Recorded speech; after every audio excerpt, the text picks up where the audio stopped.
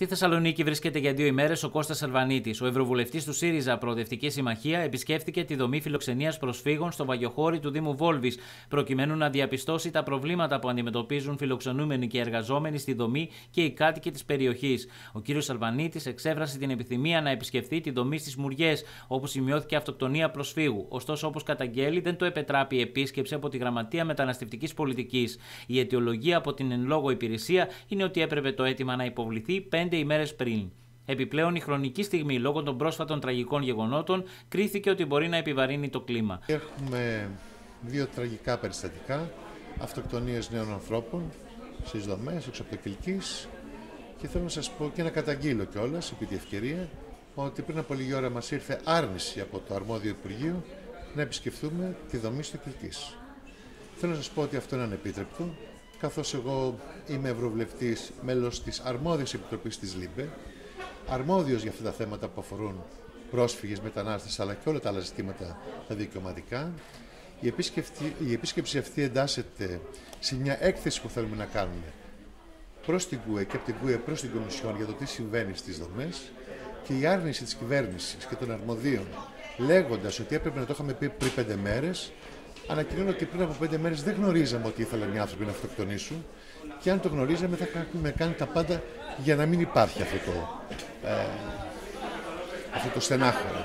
Θέλω να σας πω ακόμα ότι οι αυτοκτονίες των δύο νέων ανθρώπων ε, δεν ξέρω βεβαίως τι ακριβώς έχει οδηγήσει, πάντως είναι ένα πράγμα το οποίο μας ενδιαφέρει τέμνει ως ένα βαθμό με την έλλειψη ψυχολόγων και ειδικών που έλλειψη που υπάρχει στις περισσότερες δομές από τη Μόρια που ήμουν πριν από δύο μήνες που έχουμε και εκεί, έχουμε φτάσει στις 20.000 ανθρώπους ενώ είχα βρει εγώ 17, ενώ είχαν παραδοθεί 5.000 αλλά και στις ε, δομές αυτές. Βέβαια θέλω να σας πω τις δομές που είναι εδώ στη Μακεδονία, σε αυτές τις δύο που είδαμε, ε, δεν υπάρχουν γιατροί, δηλαδή ένας παθολόγος για απλά καθημερινά περιστατικά.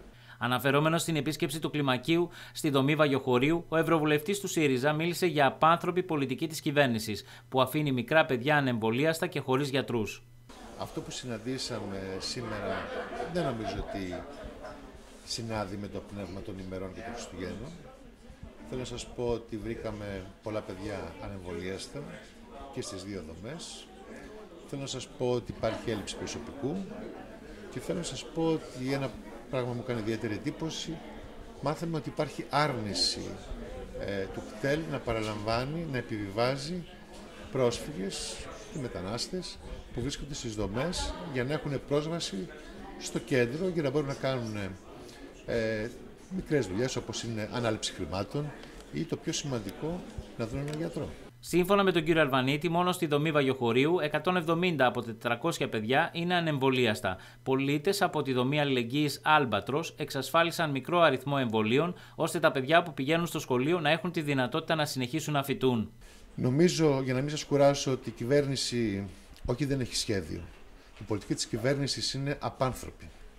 Είναι αντιεπιστημονική και βεβαίως θα καταγγελθεί με τον πιο αυστηρό τρόπο σε όλα τα διεθνή φόρα. Αυτό αφορά όχι μόνο για τους ανθρώπους που βρίσκονται σε κίνδυνο μέσα στις δομές, αλλά και για τους πολίτες που βρίσκονται έξω από τις δομές.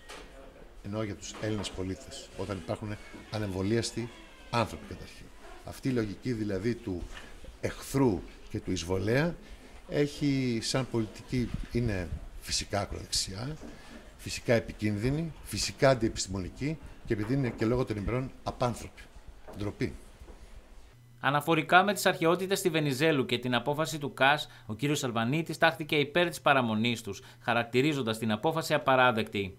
Οι έξι ευρωβουλευτές του ΣΥΡΙΖΑ Προοδευτική Συμμαχία εκδώσαμε ανακοίνωση αμέσως όταν ε, οι πολίτες της Θεσσαλονίκης και η επιστημονική κοινότητα της Θεσσαλονίκης είχε αντιδράσει αυτή κατά μια απαράδεκτη απόφαση κυβερνητική και βεβαίω ακόμα πιο απαράδεκτη είναι και η απόφαση του ΚΑΣ.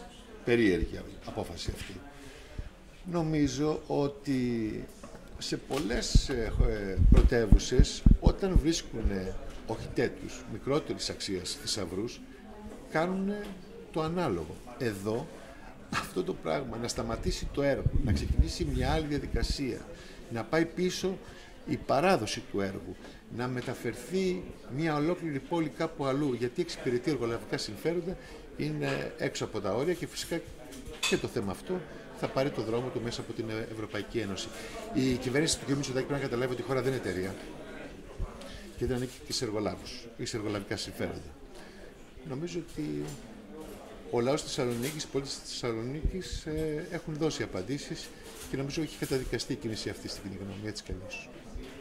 Στις 3 το μεσημέρι, ο κύριος Αλβανίτης βρέθηκε στο κέντρο του Συλλόγου Εθελοντών Άλμπατρος για μια γνωριμία επαφής και στήριξης με τους ανθρώπους που δίνουν ζωή σε αυτή την πρωτοβουλία, υποστηρίζοντας ευάλωτες κοινωνικές ομάδες στη Μακεδονία και ενισχύοντας την αλληλεγγύη.